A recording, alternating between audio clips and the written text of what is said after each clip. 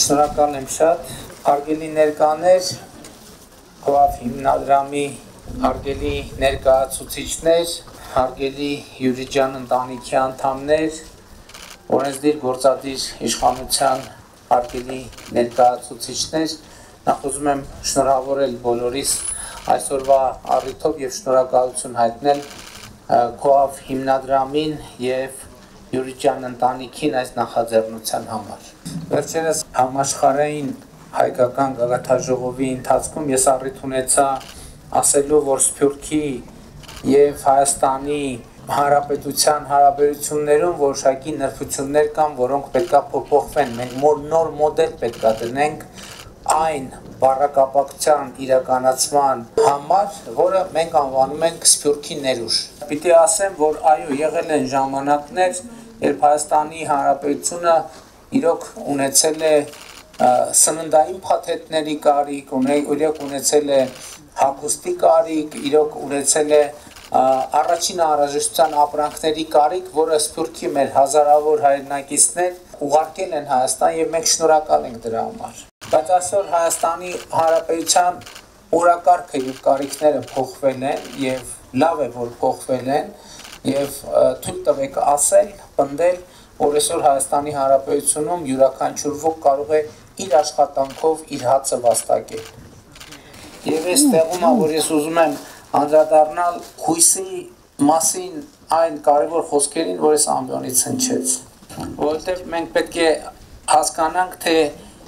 ինչ է ընկած հույսի եւ հուսահատության արանքում։ Իմ համոզմամբ այդտեղ հույսի եւ հուսահատության արանքում միայն մի բան կա,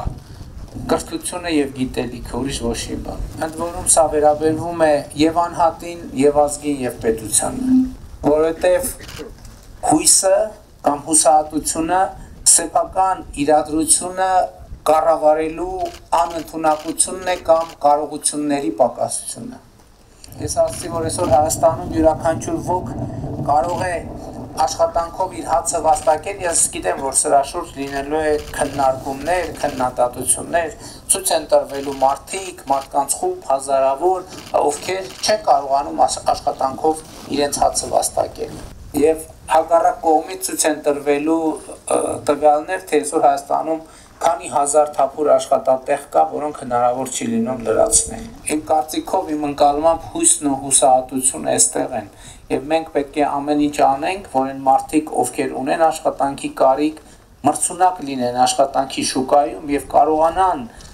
վերցնել այն աշխատանքը,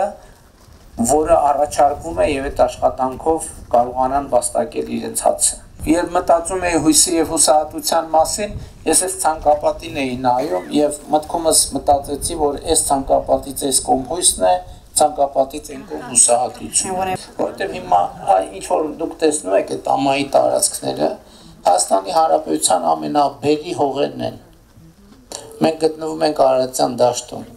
բայց երկար տարիներ հազարավոր, տասնյակ հազարավոր հեկտարներով հողեր չեն ծառայել Հայաստանի զարգացմանը։ Եվ հիմա էլի վերադառնալով ուզում եմ ասել, որ ավելի քան բավարարված եմ եւ հենց այս նկատի ունեմ ասելով Սփյուռքի եւ Հայաստանի համագործակցության կամ Սփյուռքի ներուժի օգտագործման ինչ մոդել նկատի ունեմ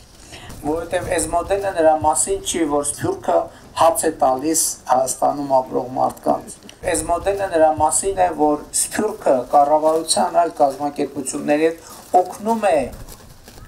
հարթակ է ստեղծում, որ մարդիկ կարողանան հաց վաստակելու նոր հմտություններ ձեռք բերել։ Եվ այս մոդելը արդեն իսկ իրեն արդարացրել է եւ ես ուզում եմ կրկին շնորհակալություն հայտնել այս նախաձեռնության համար։ Նաեւ շատ կարեւոր է, որ Հայաստանի Հանրապետությունում եւ Արմավիրի մարզում էլ այլ օրինակներ էլ ունենք։ Օրինակ մենք գտնվում ենք մոտակայքում է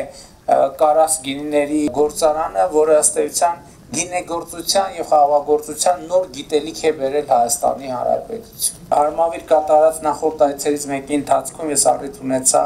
այցելել Իզմիրլյան ընտանիքի կողմից հիմնադրված նշի այգիներ, որը էլի նույն բանը կարելի ասել նրանց մասին։ Բայց եթե այդ նախաձեռնությունները օգնում են բազմաթիվ չափահաս մարդկանց աշխատել եւ գիտելիք ձեռք բերել եւ ունեցած գիտելիքը զարգացնել, Smart կենտրոնները շատ կարևոր են իրենց ֆունդամենտալ երկարաժամկետ նշանակության առումով, որտեղ նրանք առաջին հերթին թիրախավորում են կամ շահառու են համարում երեխաներին, նրանց գիտելիքներով օժտելը իհարկե նաև նրանց ծնողներին, նաև մեծահասակներին, ինչ շատ կարևոր է։ Եվ այս նախաձեռնության նշանակությունը դժվար է գերագնահատել ուղղակի։ Եվ ելի ուզում եմ ասել, որ մենք պետք է ամեն օր դա արձանագրենք եւ պետական, եւ անհատական, եւ ազգային, եւ համայնքային մակարդակում ցանկացած ճգնաժամ եւ խնդրեմ, երբ որ մենք ունենում ենք,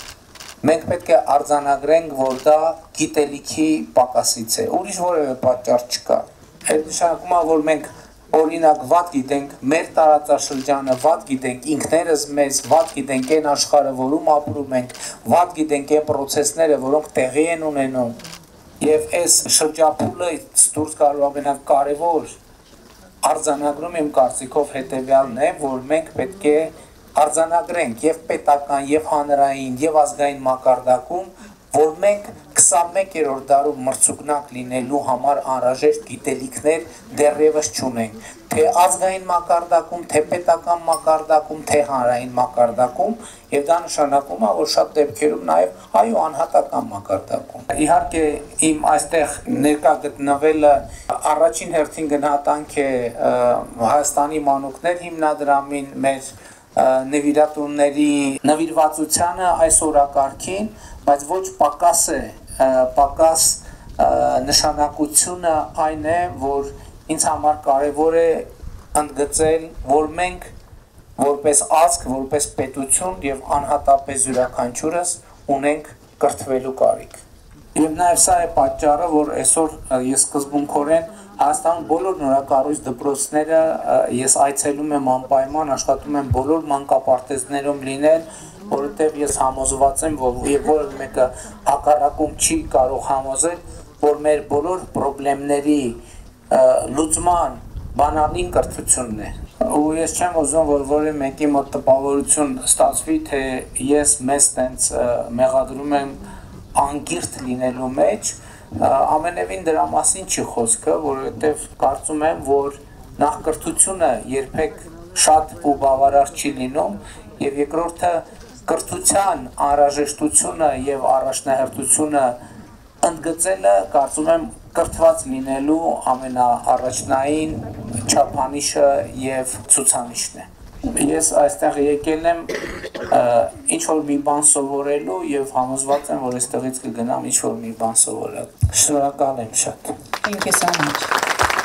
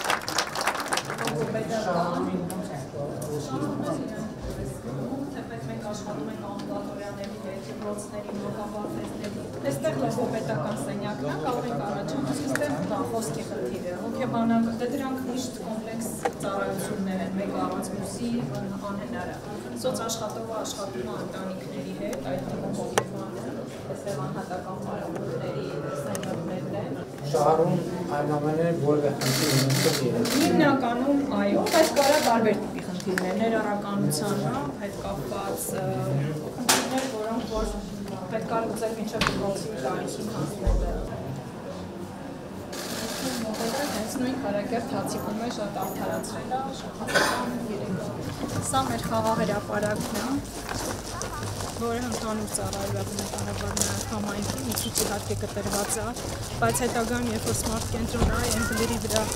արդեն լինի, ու ստեղ զարգացած ենթակառուցվածքներ լինի։ Որ միասնիկյան ավելի մեծ։ Հա։ Շատ շատ ապրես։ Բայց Ապրի Սոֆին, կեցեր։ Գալիս է Ասյան, մյուս խմբի։ Հետո պետք է տանես մուսը։ Արի Ասյան։ ստեղ ստեղ ստեղ հա։ Ա շատ